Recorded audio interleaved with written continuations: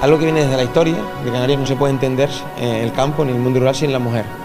Desde tiempos eh, antiguos, de la inmigración, desde el trabajo que ha realizado siempre en el campo, hasta la actualidad,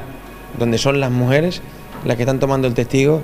de, digamos, de reivindicar ese cambio de modelo, esa profesión, dignificar el sector primario,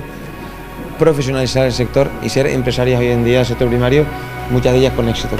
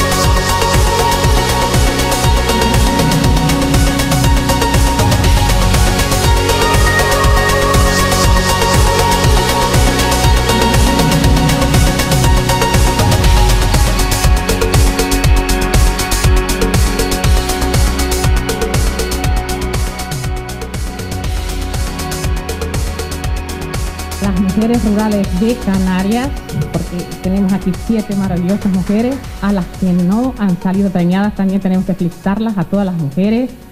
a todos los sectores que sigan luchando, que sigan trabajando por el sector, por la tierra, que es una maravilla, eh, nuestra tierra es una maravilla para seguir luchando y empujando y echando para adelante. ¿De?